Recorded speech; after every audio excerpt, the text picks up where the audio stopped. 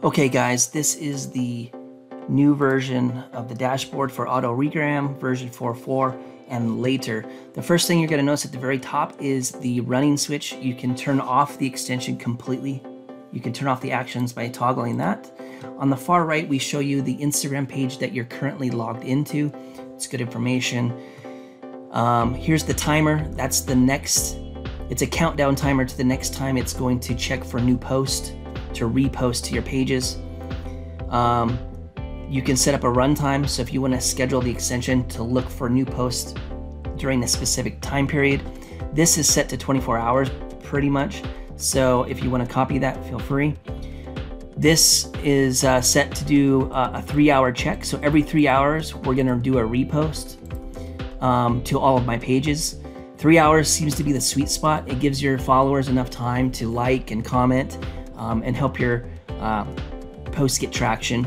Anything less, if you go say to five minutes, um, Instagram will start to block the extension because you're scraping too much information from your account. So keep that in mind. You could cause errors as you go lower.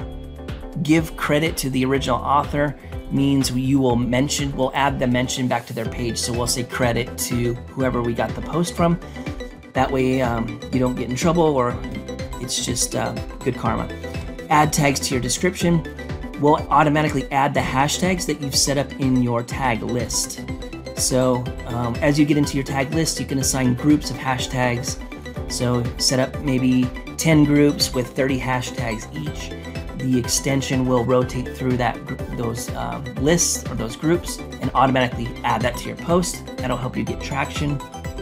Um, you can repost the original description so we'll take the original description from the post and include it as your description. And then your next option would be remove hashtags from description.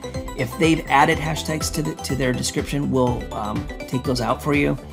If you want to repost hashtags from description, we will include those hashtags in your tag list. So we'll, we'll remove them and we'll add them to your list and we'll separate it so it cleans up your description.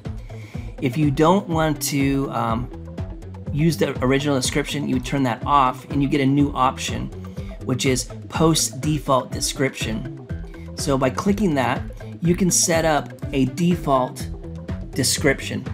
So that's kind of handy if you want to do that. Now, on the left, you have linked pages. Those are all of the Instagram pages you have listed in your Facebook Creator Studio. That's where you're going to um, turn them on and off as far as which ones you want to use with the extension. The watch list is where you're going to add all of the Instagram pages you want to check for new posts, and then you can assign those to your linked pages. The tag list, that's where you're going to create groups of hashtags for each of your pages, and you can create like 20 per page and what have you, but go ahead and play with that. And then, of course, my accounts um, that's going to be for billing purposes for the pro features we'll be adding. Activity, this shows you the last 100 actions the extension has done. So you can kind of keep up to date and see what it's been doing behind the scenes. Tutorials, um, as we add new features, all of the um, instructions on how to use those will be in tutorials. So hopefully we got through that really quick and you didn't get bored. So version 4.4, AutoRegram, give us a like, and uh, we'll see you guys in the next video.